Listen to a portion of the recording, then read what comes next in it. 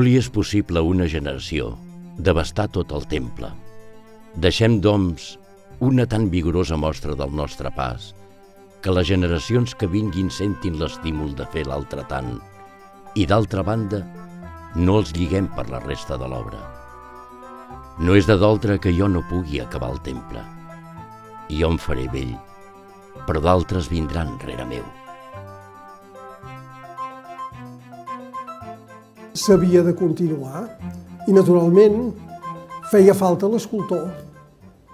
Qui pot ser l'escultor?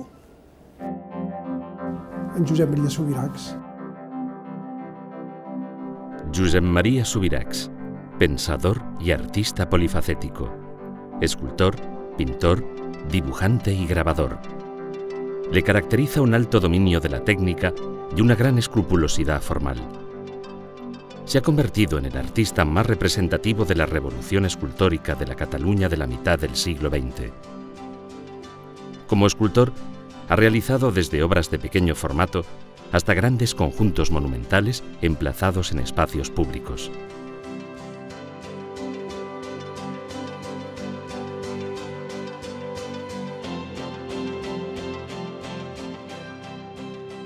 El año 1986 la Junta Constructora del Templo toma una audaz decisión, encargar a Josep María Subirax la realización de los grupos escultóricos de la fachada de la Pasión.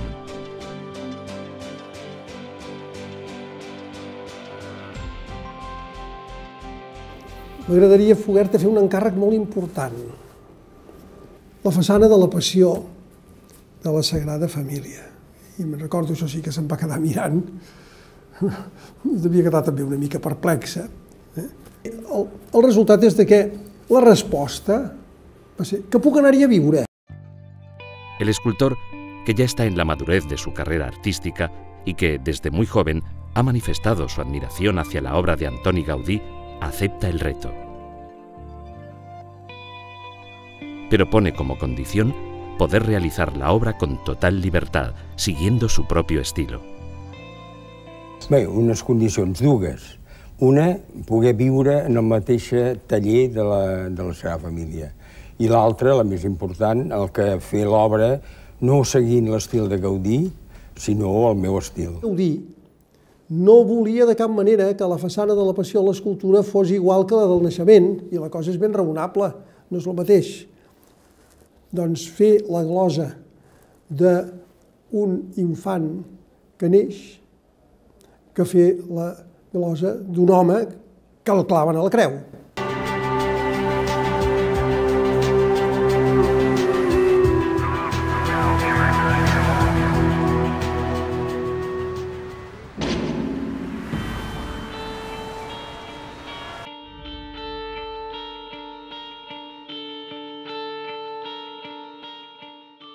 Para representar los dos trágicos últimos días de la vida de Jesús de Nazaret, el escultor recupera el expresionismo figurativo, buscando el efecto dramático que el tema requería, y propone una lectura que sigue una línea ascendente, en forma de S, que se distribuye en tres niveles.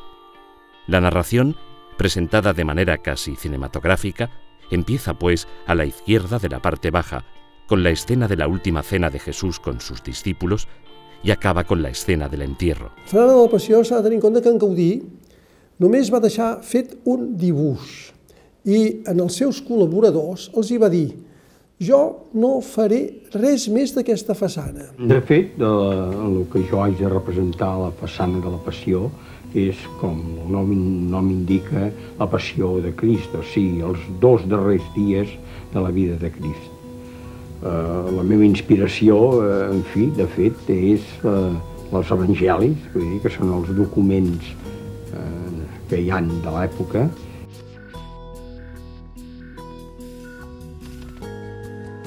Jo ara estic treballant al grup de l'últim sopar, que és un, un tema, en fi, que em té molt preocupat, perquè eh, té una gran tradició dins del món de l'art cèlebre eh, sopar de Leonardo da Vinci, però ha sigut un tema que ha sigut tractat per molts artistes al llarg de la història i jo l'haig de tornar a fer i és un tema que em preocupa perquè té aquesta gran tradició dins el món de l'art. Com sabeu, és una, és una obra que hi haurà 13 figures i composar 13 figures en pedra no és fàcil, però espero que a fi d'any ja el podré posar a la façana.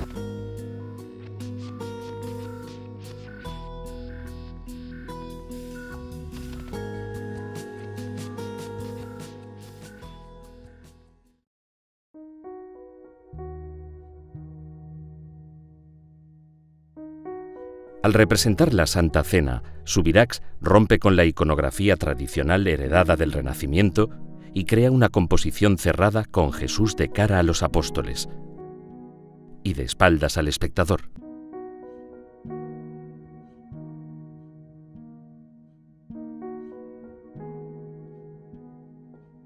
La escena corresponde al momento en que Jesús se dirige a Judas Iscariote y le dice, Lo que estás haciendo, hazlo deprisa. La derecha vemos el brazo estirado de Judas que girando la cabeza para escapar de la mirada de sus compañeros, aprieta con fuerza el puño en el que esconde las 30 monedas de la traición. Abajo aparece un perro medio adormecido que además de darle un tono doméstico a la escena, es el símbolo de la fidelidad, en oposición a la deserción y la traición. A la derecha de Jesús está su discípulo predilecto, Juan, que, profundamente entristecido, apoya la cabeza sobre la mesa.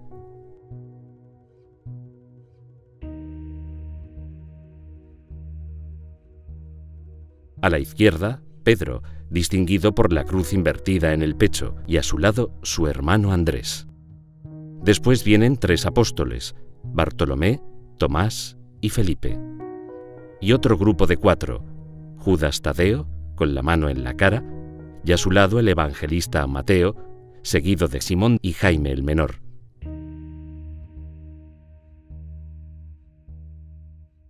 Jesús explica lo que pasará a los discípulos, que se muestran desencajados al enterarse de todo lo que habrá de acontecer. Ell va dissenyar, feia tot el de, de el que era la passió, i llavors feia uns bossetos petits i quan ho tenia clar feia el model, que són aquests que tenim aquí al darrere, a un tamany aquí, el tamany que sortien. Llavors, d'aquest model, jo seccionava per peces els blocs en què es havia de fer, ens els tallaven aquí a les màquines i llavors doncs, els realitzàvem. L'obra tal com jo la faig, és una obra molt cerebral, és dir, molt pensada. Primer és el dibuix, el dibuix és el primer, diguem, pas que l'idea que està, diguem, presonera o amagada en el cap de l'artista, pas es materialitza. És en el, sobre el paper, en el dibuix, després es fan uns bossets a petit tamany, ja a tot volum, després més gran uns models i finalment la matèria definitiva. Això és el procés, diguem, de creació de l'escultura tal com jo, diguem, eh, la faig.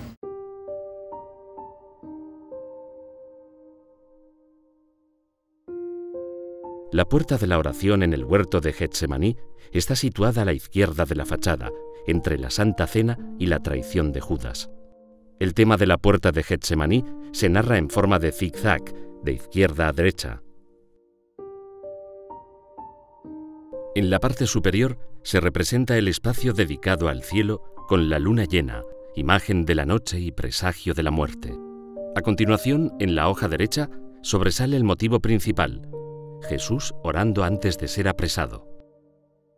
A la izquierda, los apóstoles hermanos, Juan y Jaime el Mayor, están tumbados, durmiendo.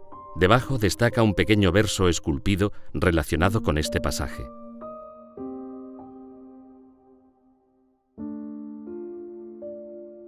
Siguiendo hacia la derecha, encontramos a Pedro adormecido con la cabeza sobre una piedra.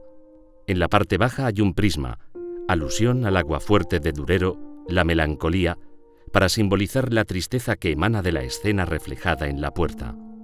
El grabado del fondo está lleno de huellas y detalles alegóricos que hacen que el conjunto transmita la impresión del paso del tiempo. Son como fósiles fijados a la materia.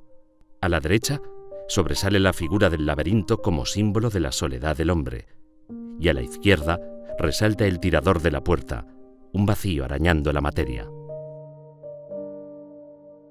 Para destacar el tema más importante, el escultor enmarca la figura de Jesús elevado en un plafón en relieve con el detalle de una rama de olivo.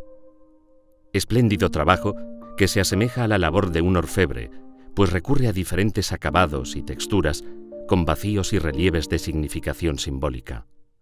Totes aquestes portes que ens ha deixat extraordinàries de la Sagrada Família, són com grans llibres, amb aquestes tipologies, crec que tenen una, una qualitat i una força extraordinària. Que ell sap juntar la, la funcionalitat d'una porta, una entrada, amb l'escultura. En la porta del Getsemaní hi ha un element que Subiracs fa servir sovint en la seva obra escultòrica, que és l'al·lusió al gravat de la melanconia del Brec Durer, concretament la pedra. I aquesta pedra ens evoca aquesta tristor, la melanconia, exactament, aquesta buidor que sent Jesucrist abandonat dels seus deixebles. És per això que Subiracs ha sabut triar eh, un element absolutament remarcable en el sentit que identifica molt bé aquesta tristor eh, profundament humana i alhora profundament metafísica, remarcada també per l'element lluna que apareix a la part superior de la porta i que ens dona aquesta imatge de nit, de desolació i d'abandonament de Jesucrist pels seus deixebles. Subirax dice, no creo demasiado en la inspiración ni en la intuición, yo creo en la reflexión y en el trabajo. L'art és contrari a la natura, com artificial és contrari a natural. L'home fa jardins en lloc de selves, estàtues en lloc de pedres i piràmides en lloc de muntanyes. Produeix molta obra, treballa molt. De bon de matí, quan jo arribava aquí, potser havia fet una litografia i tornava a treballar, o sigui, treballava les 24 hores del dia. I tant, en fi, la meva vida sempre està molt relacionada amb la meva professió i jo dic que fins i tot com, com vaig a un concert o vaig al cine, continuo la meva obra perquè em serveix d'enriquiment per tal de després treballar el meu personal. Que si no hi ha aquesta riquesa de, de, de matisos eh, en la vida, difícilment eh, hi haurà aquesta riquesa de matisos en l'obra també. El tema en una obra d'art no és el més important, però naturalment també té la seva importància. I sobretot jo crec que l'obra religiosa eh, encaixa molt bé amb l'obra d'art, perquè tots dos apunten cap a uns fins metafísics. És a dir, la, el tema religiós és un tema que de tota la història ha sigut sempre un tema preferent per als artistes perquè precisament eh, tots dos, com he dit, doncs apunten cap a aquests fins superiors, cap a aquests fins metafísics, que l'art doncs, eh, hi s'hi troba també. Això és eh, l'actitud que jo prenc davant del tema religiós, és sobretot aquesta espècie de, de posició que l'home té, que no tenen els altres animals, aquesta posició que té de coneixement de la mort. És a dir, l'home és un animal que sap que s'ha de morir i llavors es defensa i crea, doncs, eh, eh, coses per eh, lluitar contra aquesta idea bàsicament eh, inicialment negativa i serveix doncs, per poder superar aquest trauma de la mort. I llavors la religió, que també apunta cap al mateix, doncs mm, s'hi acopla molt bé amb el fet artístic, ja que ell també és una defensa contra la mort.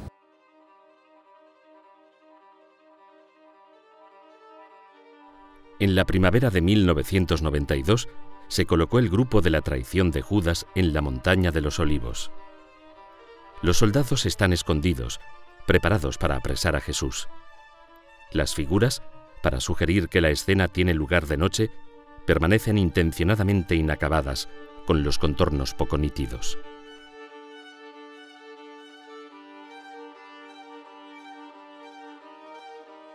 Pedro, que yace en el suelo, se despierta y desenvaina la espada. A su lado, El tronco de un olivo cortado aparenta la forma de una oreja, la oreja de Malcus, criado del gran sacerdote.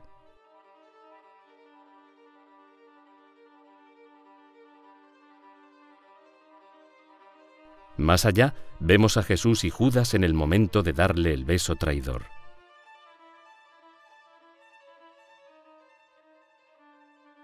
El gesto de acercamiento de Judas, acentuado por la curva de los pliegues de la túnica, contrasta con la actitud distante y rígida de Jesús.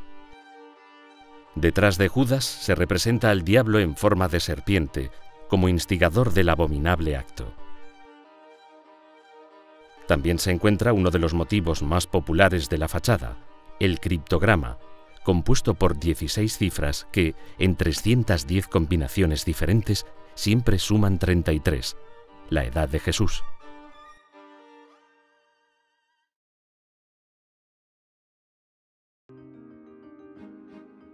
Justo en el cruce integrado por el mainel del portal central de la fachada con el umbral, hay un bloque de piedra esculpido de forma que complementa el tema de la flagelación y lo une con las figuras que van camino del Calvario. Se trata de una pieza relativamente pequeña dentro del conjunto del gran retablo de la fachada, pero su significado es importante e ilumina toda la composición escultural. Es el alfa y el omega. La utilización de la inicial y la terminal del alfabeto griego, símbolo tan habitual en el románico, se ha intentado recrear haciendo que la forma de omega fuera la misma que la de alfa, invertida y en negativo, dando a entender de una manera clara y exacta el significado de este antiguo símbolo. Alfa y omega, principio y fin de toda creación. En su simplicidad, esta piedra sintetiza en abstracto todo lo que, de una manera figurativa, se narra en la fachada de Poniente.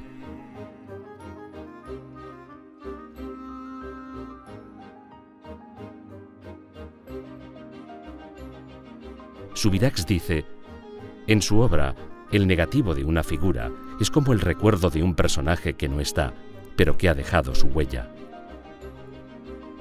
En su última etapa, Subirax delante del arte abstracto, recupera formas y contenidos. Del mismo modo que el estructuralismo, frente al nihilismo filosófico y las tautologías políticas, aparece positivamente como una afirmación formal. Para conseguirlo, el escultor aplica reglas de oposición, inversión o simetría, como hace Levi Strauss para explicar la transformación de los mitos de una cultura a otra. Como el filósofo que recoge y traduce a un lenguaje nuevo los cambios que se respiran en el ambiente de la época, así el artista, con una sensibilidad más aguda que el resto de la gente, percibe estos cambios y los plasma estéticamente.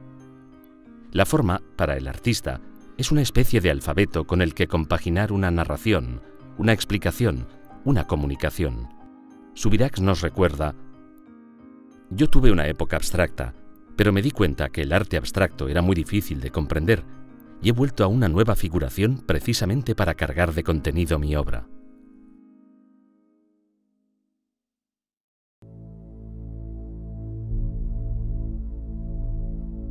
La flagelación representa la soledad de Cristo. Para enfatizar su soledad, sitúa esta escena entre la traición de Judas y la negación de Pedro. Cristo está radicalmente solo, incluso más que en la cruz, porque allí, como mínimo, tiene a su madre, a su discípulo predilecto y a algunos otros amigos.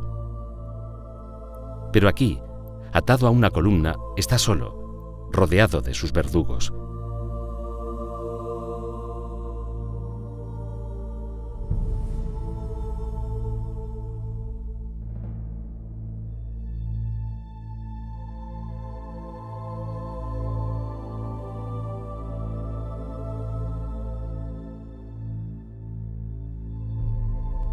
Los tres escalones representan los tres días precedentes a la resurrección. La caña y el nudo, que recuerdan la burla y la tortura sufridas por Cristo, son dos elementos de gran significación. La columna desencajada está formada por cuatro tambores que simbolizan los cuatro brazos de la cruz, a la vez que representan el mundo antiguo que Cristo viene a romper. Él cambia el signo de la historia y por esto Si bien la columna es el instrumento de su martirio, él, como un nuevo Sansón, finalmente la romperá. Los instrumentos de martirio son tratados de manera realista, contrastando con la figura más expresionista de Cristo, deliberadamente non finita, puesto que es la imagen de un nuevo mundo emergente. La obra, de una altura de 5 metros, está hecha de piedra travertina. Finalmente, vale la pena mencionar un hecho fortuito, la aparición, al desbastar el bloque de travertino, de un fósil de palmera enano, una casualidad ciertamente extraordinaria, teniendo en cuenta que la palmera es el emblema del martirio.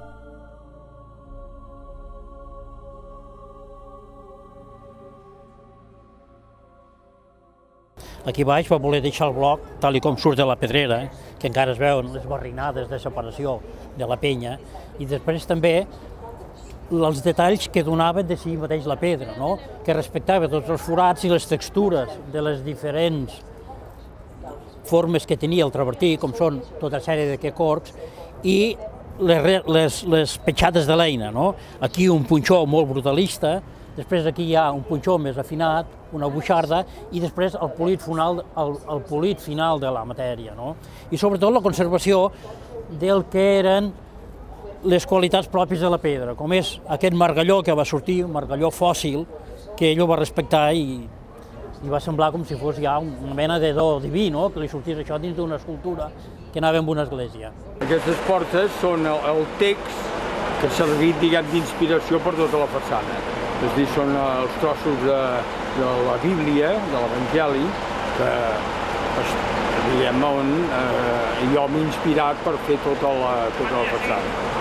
La Porta de Passió es va tardar vuit mesos aproximadament per, per fer la, la, la fundició.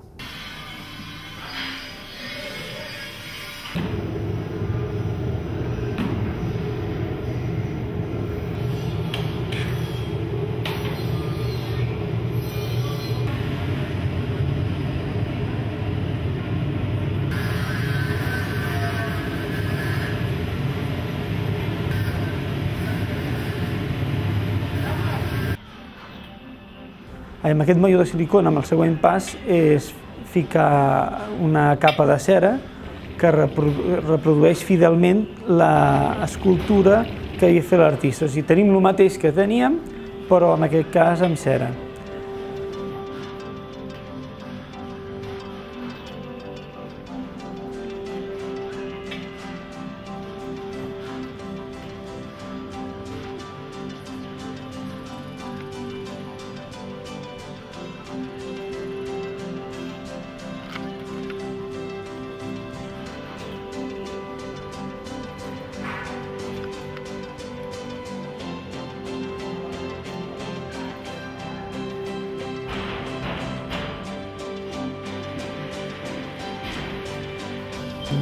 Es porta a temperatura de fusió, que són uns 1.200 graus, 1.250, i llavors se fa la, la colada, que es diu de bronze, que és dintre el, el motllo de refractari, se li tira el bronze. Aguanta, aguanta, aguanta. Aguanta.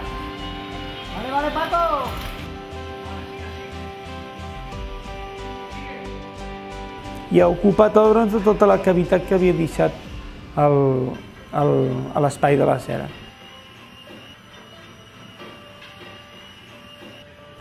Una vegada s'ha refredat, l'endemà es desmunta l'encofrat i recuperes com si diguéssim l'escultura en bronze.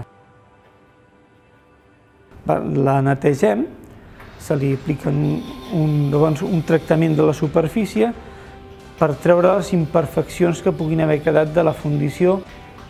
Les, les portes de la façana principal estan fetes amb 24 trossos i aquests 24 trossos llavors es munten 12, fan una fulla de la porta i 12 fan l'altra la, fulla.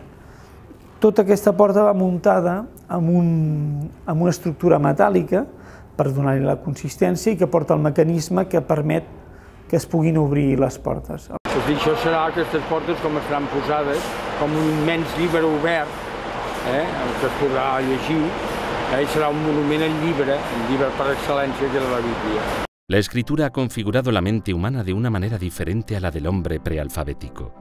Subirax dice, seguramente sea en el arte de la escultura donde veamos con mayor claridad la unión de la idea y la materia. L'art és la unió de la idea i la matèria. Penso que una obra d'art ha d'envellir com una ruïna, no pas com una ferralla.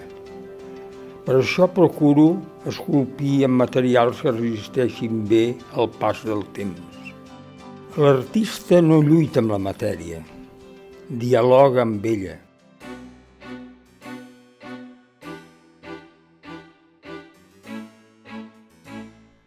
Siempre le pareció que la doble puerta central debía sintetizar toda la obra de la fachada. Al fin, encontró el tema que consideró adecuado, reproducir el texto del Evangelio que los grupos escultóricos ilustran. Las dos puertas gigantes, separadas por el mainel, son como dos inmensos libros abiertos. La textura del trasfondo, con más de 8.000 letras fundidas en bronce, no distraerá la atención de la figura de la flagelación, que se encuentra delante.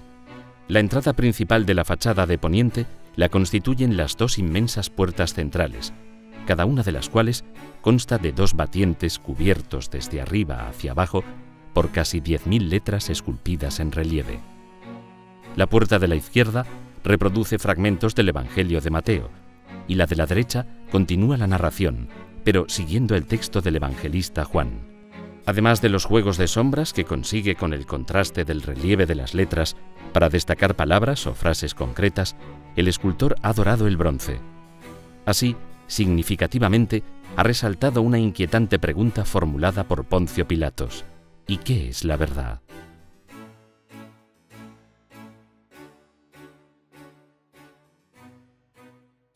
En Gaudí no havia mai dit que les portes serien el text de l'Evangeli de Joan i de Mateu. Mai. És una idea d'en Subiracs. El Gaudí és l'artista més extraordinari que ha tingut el nostre país, el més gran creador, sens dubte, un home verdaderament interessantíssim perquè acaba diguem, el procés de l'arquitectura de volta, eh, que va començar amb els romans, inicia tècniques com el collage en els seus mosaics, el collage que tant han empleat els pintors del segle XX, fa unes escultures, sobretot en les formes abstractes interessantíssimes, com les que hi ha en la terrat, en el terrat de la Pedrera, és dir, és el més gran creador que ha tingut el nostre país, sens dubte. Eh?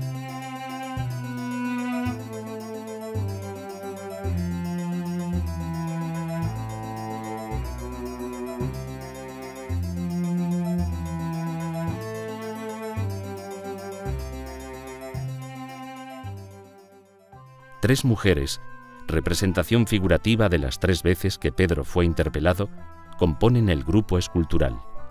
Una de ellas señala al apóstol diciendo, ¿Este hombre también iba con Jesús? Un gallo esculpido en la misma piedra mira hacia la salida del sol y canta. La figura compungida de Pedro, escabulléndose envuelto en una sábana, es una alegoría de su negación. Al otro lado se encuentra la casa del gran sacerdote, donde han hecho entrar a Jesús. Tiene forma de laberinto y simboliza, como era costumbre en muchas catedrales medievales, el recorrido que el inocente fue obligado a seguir cuando fue apresado en el huerto de Getsemaní. El laberint és una mirada cap al món clàssic, aquell món clàssic que Subiracs coneix també i que tant estima, és òbviament el laberint del Minotaure a Creta,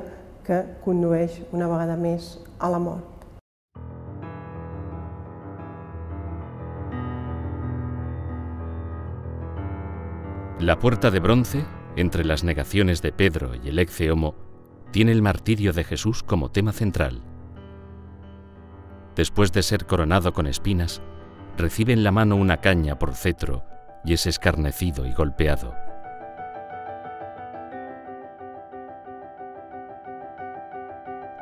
También podemos ver a Jesús delante de Herodes Antipas y del gobernador romano en una representación del dicho de Herodes a Pilatos.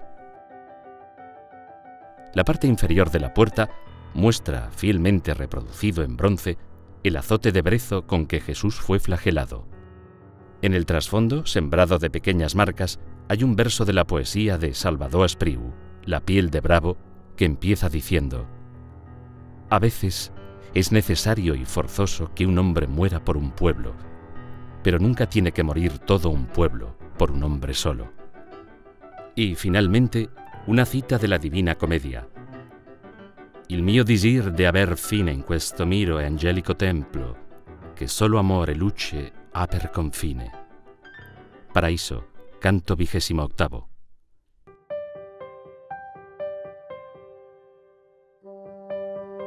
El último grupo, en la parte inferior de la derecha, consta de diez figuras y representa el juicio en el pretorio, desglosado en dos escenas separadas por una columna con una águila imperial encima. La primera muestra al gobernador Pilatos dudando y abrumado por el problema que debe resolver mientras presenta a Jesús, Ecceomo. La piedra bajo los pies de Jesús se agrieta, un presagio del terremoto que se acerca.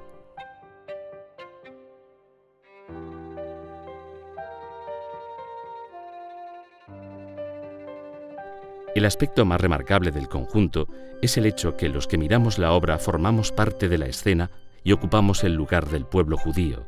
Nos convertimos en protagonistas de la escena y se nos implica en los momentos más significativos de estos dos últimos días de la vida terrenal de Jesús.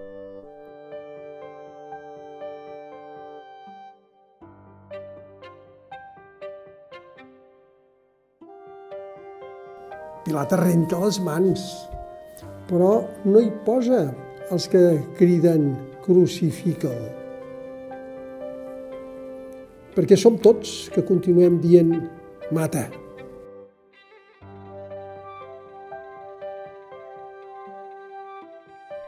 La segunda escena muestra a Pilatos lavándose las manos. En el año 1996, Subirax acabó la escultura de Claudia Prócula. Representa a la mujer de Pilatos, que abandona el escenario y entra en casa, angustiada por la situación en que se encuentra inmerso su marido. Mientras Pilatos estaba en el tribunal, su mujer le hizo llegar este mensaje. Desentiéndete del caso de este justo. Hoy, en sueños, he sufrido mucho por su causa.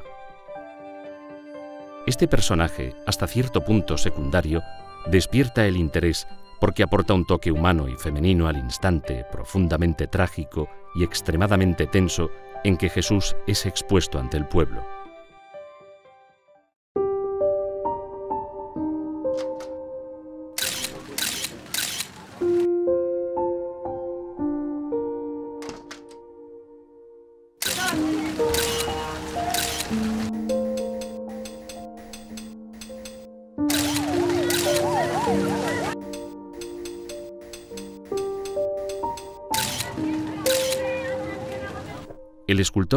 Que soportó estoicamente manifestaciones de gente en contra de su obra, nos revela. La obra nunca es absolutamente libre. Se trabaja en un momento preciso de la historia y a menudo en un lugar determinado. Esto impone un cierto condicionamiento.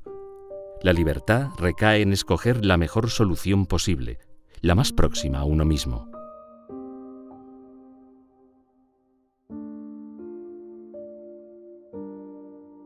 Tot, la Sagrada Família no és més que la història dels pobles, que tots els pobles tenen moments d'eufòria, de moments que tot va bé, o que sembla que va bé, i moments de desencant. Es discutia si un monument doncs, inacabat es podia acabar. I la Sagrada Família era un monument inacabat, però era també un encàrrec arquitectònic en marxa eh, se li ha fet política des d'un punt de vista estètic i s'ha posat en controvèrsia, sobretot, i no ens enganyem, per la seva intervenció a la Sagrada Família. Perquè se suposa que un temple està fora de, fora de l'espai del temps. El món modern, en general, eh, ha independitzat eh, l'escultura. L'ha independitzat eh, arrencant-la d'aquesta vinculació arquitectònica i eh, deixant-la com un element eh, purament autònom. El fet que mm, diguéssim, en Josep Maria Subirachs eh, hagi tornat eh, a incorporar eh, el treball escultòric mm, a l'arquitectura i, a més a més, a la gran arquitectura, en, em sembla també un, una de les seves eh, aportacions bàsiques i claus, eh, en aquest cas sí ja específicament eh, en el món de l'escultura. Era normal que hi haguessin una gent que estessin a favor i una gent de continuar i uns altres que no, però el que no hi ha dubte és de que Gaudí és conscient de que l'obra durarà segles i fa les coses pensant en això.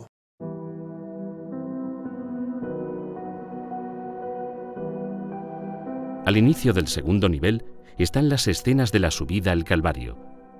Este primer grupo de la derecha incluye a Jesús, caído en el suelo, y a Simón de Cirene, que le ayuda a llevar la cruz. Podemos ver también a la Madre de Jesús, acompañada de María de Cleofás y de María Magdalena. Su propósito es que estas figuras tengan un efecto cinético, puesto que se trata de la misma figura repetida tres veces a diferentes niveles en un intento de representar el movimiento.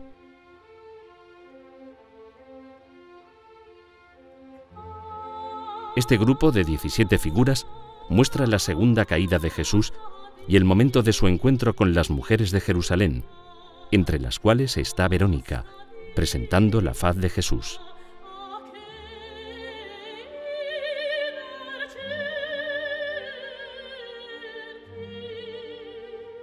La imagen produce el efecto óptico de girarse siempre de cara al espectador. Verónica quizás sorprende por su falta de facciones. La razón es que este personaje, de gran belleza simbólica, no tiene ningún fundamento histórico, sino que es fruto de una leyenda basada en la vera icona, de aquí la palabra Verónica, adorada en Roma desde el siglo VIII. La cara que interesa resaltar es la de Jesús, esculpida en negativo para sugerir, traducida a la escultura, la marca dejada en la tela. Tanto la medida como la elaboración de la cara de Jesús no tienen nada que ver con las otras figuras. Así se obtiene la impresión que no ha sido esculpida, sino que es la auténtica cara del Mesías.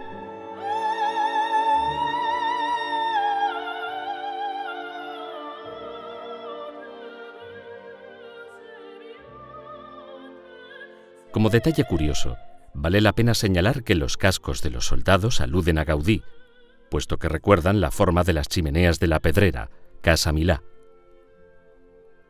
En una actitud claramente posmoderna, Subirax ha aprovechado este símbolo de Gaudí para dar a estos personajes una apariencia guerrera, impersonal y feroz. A la izquierda, algo apartada de la escena, una figura observa y escribe. Representa al evangelista que, en tanto que cronista, toma nota de lo que ocurre.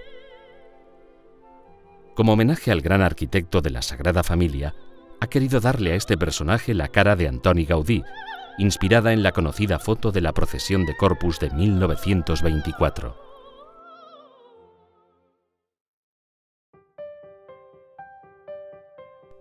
A Longino, un mártir cristiano del siglo I, originario de Isauria, se le identifica como el soldado que hirió el lado derecho de Jesús con la lanza y más tarde se convirtió al cristianismo. Le vemos montado a caballo, atravesando con la lanza el lado derecho de la fachada del templo. Como si se tratara de una acción premonitoria, la lanza del soldado atraviesa el lado derecho de la fachada.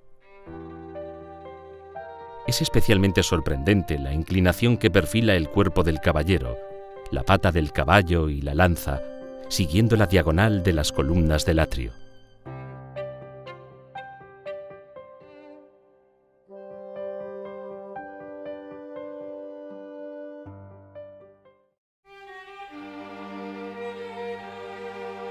En el primer grupo del nivel superior, siguiendo la S de la ruta de los últimos dos días de la vida terrenal de Jesús, vemos los soldados jugándose sus vestidos.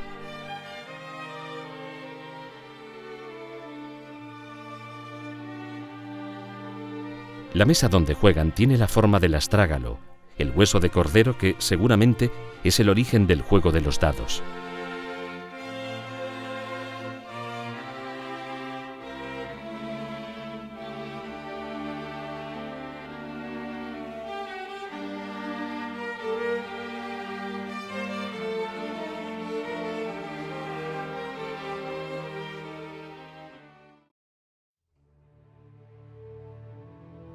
Centro del punto más alto del atrio está la imponente imagen de Jesús clavado en la cruz. El crucificado aparece desnudo, colgado de los brazos, con los pies desclavados y el cuerpo inclinado hacia el vacío, como si fuera a desplomarse encima del espectador.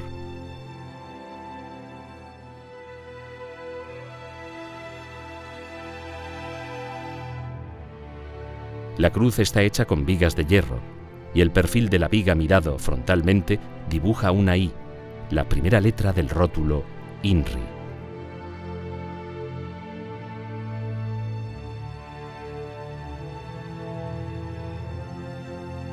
A la izquierda se sitúa el grupo formado por la Madre de Jesús, Juan y algo más allá, María de Cleofás.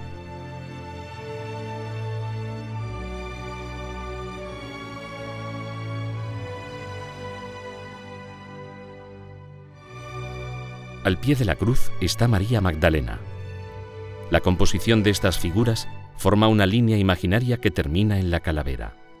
Es el único elemento escultural al otro lado de la cruz y ha recibido un tratamiento más realista para sugerir la entrada del sepulcro.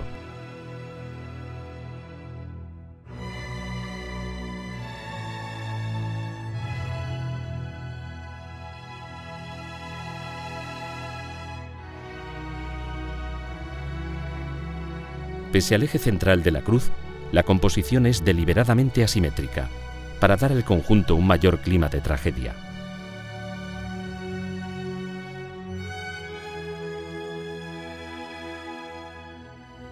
Más arriba, ejecutado en bronce, está suspendido el velo rasgado del templo, como un baldaquín cubriendo el conjunto con su solemnidad.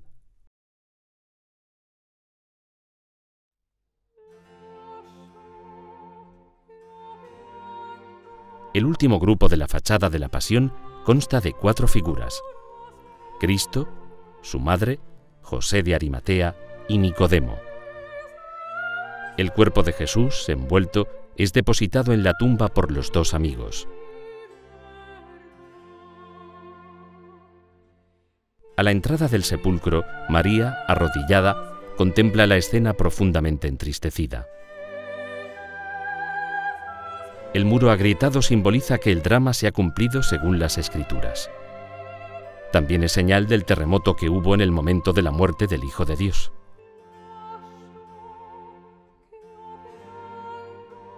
Encima de la cabeza de María podemos ver esculpido un huevo, un símbolo utilizado por Piero de la Francesca en una pintura que se encuentra en el Museo Brera de Milán y en la Virgen de Porligat de Salvador Dalí.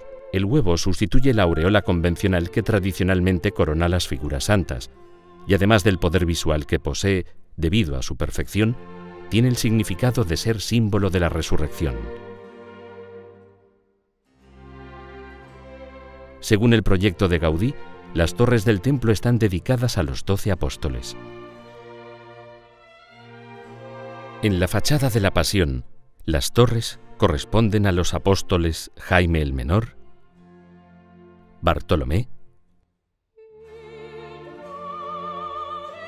Tomás,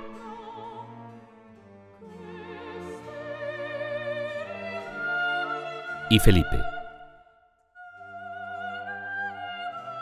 Todas las torres tienen esculpidos los nombres de los apóstoles en relieve. Para representar al Espíritu Santo, Subirax ha partido de la forma tradicional de la paloma, pero lo ha estilizado hasta convertirlo en una abstracción, puesto que el tema es profundamente metafísico. En el puente que une las dos torres centrales de la fachada, a 60 metros de altura, vemos la figura de bronce dorado que representa la ascensión.